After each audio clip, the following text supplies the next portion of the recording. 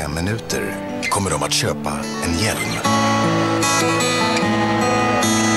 Och nu står han inför en stor utmaning. Den olympiska andan finns i oss alla. Framtiden tar Visa, oavsett vart den tar dig.